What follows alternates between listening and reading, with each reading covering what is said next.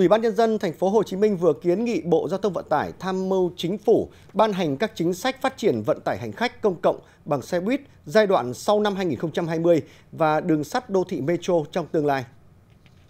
Chính phủ cần sớm ban hành các quy định về quy trình, định mức kinh tế kỹ thuật, đơn giá, giá sản phẩm dịch vụ công liên quan đến công tác quản lý, bảo trì công trình metro và vận tải hành khách bằng xe buýt nhanh – Bên cạnh đó, Bộ Giao thông Vận tải cần sớm ban hành định mức khung kinh tế kỹ thuật áp dụng cho vận tải hành khách công cộng bằng xe buýt sử dụng năng lượng điện. Hiện tuyến Metro số 1 Bến Thành Suối Tiên đang thi công giai đoạn nước rút, dự kiến cuối năm nay đạt tổng khối lượng 85% và sẽ đưa vào hoạt động vào cuối năm 2021.